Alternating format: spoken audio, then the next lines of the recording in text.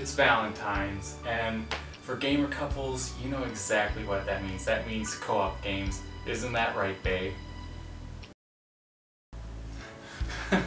oh, you're so funny. Jeez. Okay, well, anyways, let's let's start, you know, gaming. Oh, come on, you gotta stop letting me win this, honey.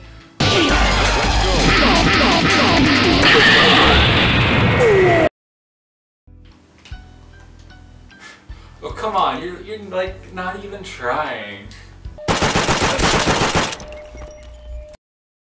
Aw, oh, you did you did you let me have that one? Oh, come on, you're, you're too nice. Come on, stop screen cheating. Well, at least as long as you don't cheat on me.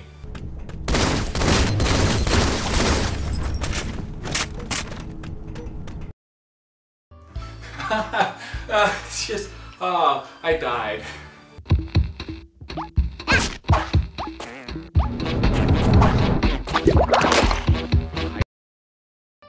Ah, it's so great playing games with you, babe. It just really feels the emotional hole in my heart.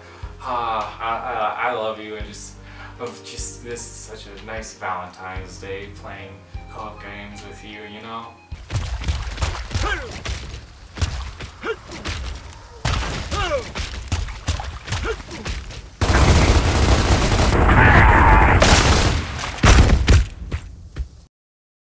So yeah, that's a gamer's Valentine's Day, playing co-op games with Bae.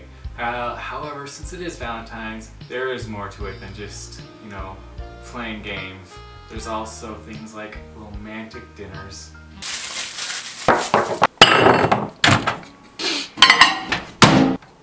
Just a great gamer Valentine's Day, you know, having a nice, beautiful Valentine's dinner with Bae.